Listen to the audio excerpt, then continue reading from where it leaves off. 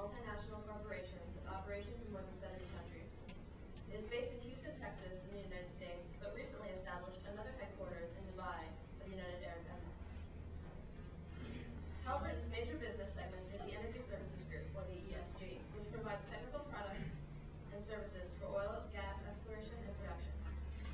Halliburton's former subsidiary, KBR, is a major construction company of refineries, oil fields, pipelines, and chemical plants.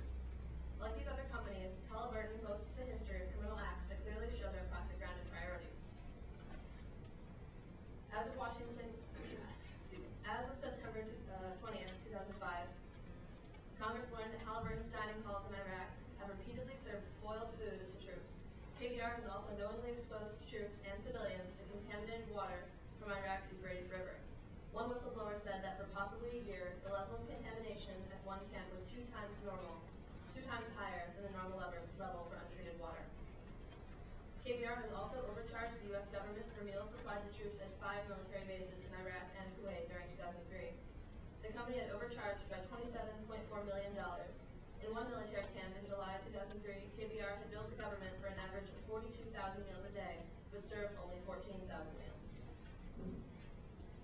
16 uh, American troops have also died from electro electro electrocution in Iraq, most of which was caused by faulty wiring supplied by KBR.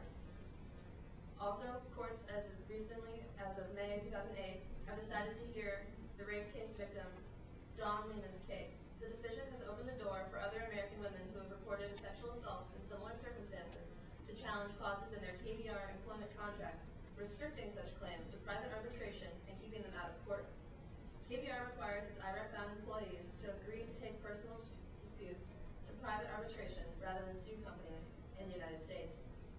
Also, as of September 3, 2008, Albert J. Stanley, a former executive with Halliburton, pleaded guilty to charges that he conspired to pay $182 million in bribes to Nigerian officials in return for contracts to build a $6 billion liquefied natural gas complex.